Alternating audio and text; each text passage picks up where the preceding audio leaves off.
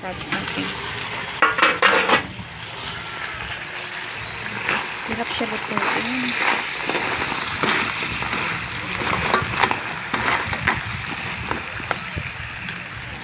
So, ngayon, buksan ko siya.